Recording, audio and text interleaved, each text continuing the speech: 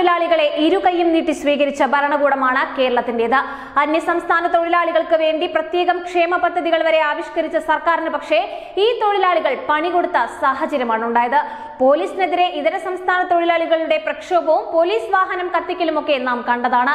ഇതോടെ കേരള പോലീസിന്റെ പുതിയ നീക്കമാണ് ഹിന്ദി പഠിക്കാനുള്ള തയ്യാറെടുപ്പ്.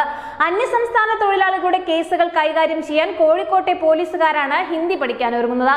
കേരളത്തിൽ അന്യസംസ്ഥാന തൊഴിലാളികളുടെ പേരിലുള്ള ക്രിമിനൽ കേസുകളും ഇവർ പരാതിക്കാരാവുന്ന കേസുകളും കൂടുകയാണ്. ഡ്യൂട്ടിയിലുള്ളവർക്ക് ശരിയായി കേസ് രജിസ്റ്റർ ചെയ്യാനും എഫ്ഐആർ തയ്യാറാക്കാനും കഴിയുന്നില്ല.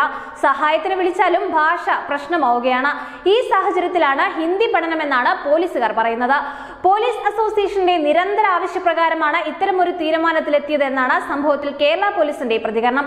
കോഴിക്കോട് ജില്ലയിലെ എല്ലാ പോലീസ് സ്റ്റേഷനുകളിലും പദ്ധതി നടപ്പാക്കാനാണ് തീരുമാനം. സിറ്റി പോലീസ് കമ്മീഷണർ എ അക്ബറിനാണ് ഹിന്ദി പഠനത്തിന്റെ ചുമതല. പോലീസുകാരുടെ ക്ഷേമത്തിനായി പ്രവർത്തിക്കുന്ന സീഡിന്റെ ആഭിമുഖ്യത്തിൽ രാഷ്ട്രഭാഷ ഹിന്ദി പ്രചാര സഭയുമായി സഹകരിച്ചാണ് പരിശീലനം. മണിക്കൂറിന് നൂറ് രൂപയാണ് ഫീസ് ഈടാക്കുന്നത്. മൂന്ന് മാസത്തേക്കാണ് ഒരു ബാച്ച്.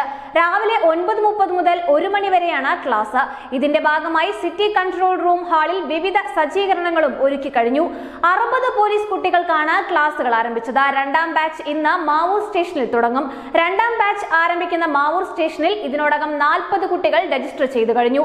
ഏതായാലും ഹിന്ദി പഠിക്കാനുള്ള തയ്യാറെടുപ്പ് കേരള പോലീസ് തുടങ്ങിക്കഴിഞ്ഞു. ഹിന്ദി പഠനവും കേസ് അന്വേഷണവും ഇനി വേറെ രീതിയിലായിരിക്കുമോ എന്ന് കാത്തിരുന്ന് കാണേണ്ടതാണ്. News desk news day Malayalam.